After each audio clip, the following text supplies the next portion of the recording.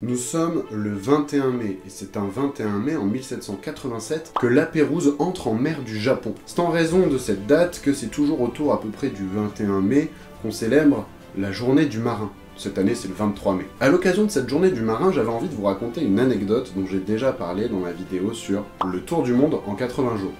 Jules Verne, alors c'est plus une légende qu'une histoire, mais j'adore cette anecdote, alors je vous la raconte même si on n'est pas tout à fait sûr. Jules Verne, à l'âge de 11 ans, aurait fugué, serait parti pour monter à bord d'un bateau destination les Indes, dans le but de ramener un collier de corail pour sa cousine dont il était secrètement amoureux.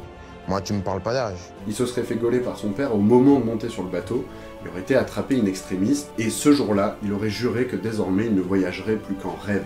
D'où la carrière euh, d'écrivain de SF qui a été la sienne plus tard. Bonne journée à tous, et à demain pour une nouvelle anecdote.